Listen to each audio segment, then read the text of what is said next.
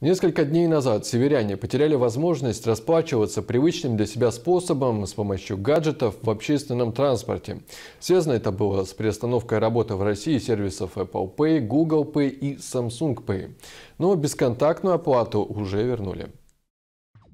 Жители Заполярья могут продолжать использовать для оплаты проезда свои гаджеты. Для этого необходимо установить на них отечественные платежные системы МирПэй или Сберпэй. Тем не менее, пассажирам также рекомендуется иметь при себе физическую бесконтактную банковскую карту или наличные деньги. Альтернативный способ оплаты – карта 51 с тарифом электронный кошелек.